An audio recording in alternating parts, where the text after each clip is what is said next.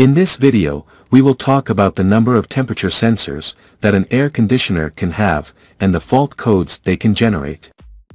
Let's start by saying that the two most common sensors in air conditioning equipment are 1. Ambient temperature sensor. It measures the temperature of the return air to average the temperature of the conditioned space. 2.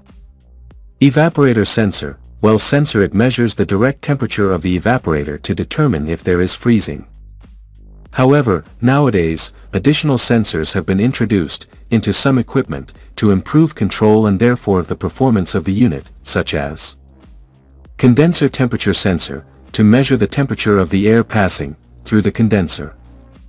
Temperature sensor at the condenser outlet, to measure the temperature of the liquid refrigerant at the condenser outlet to calculate subcooling. Compressor discharge sensor, to measure the refrigerant temperature immediately at the compressor discharge. Refrigerant temperature sensor at the compressor suction, it measures the refrigerant temperature to control overheating. Now let's see some fault codes associated with these sensors. 1. Fault codes associated with the ambient temperature sensor are E4, E2, E1. 2. Fault codes associated with the evaporator sensor are E3, E5, E2. 3.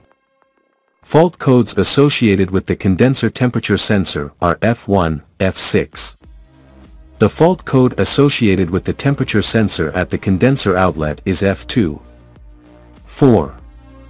Fault codes associated with the compressor discharge sensor are F3, F4. The fault code associated with the refrigerant temperature sensor at the compressor suction is FA. Since the diagnostic procedure for any temperature sensor is practically the same, let's see the following recommendations to address any of the above fault codes. 1. Check the sensor connections. 2. Clean the connections. Confirm the correct sensor position. 4.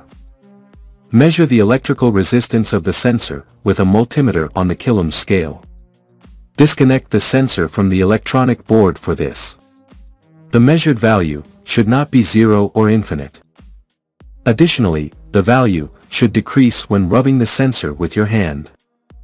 5. If you have the equipment manual, verify if the resistance value measured with the multimeter matches the resistance value provided by the manual. 6. Verify the voltage supply to the sensor from the board.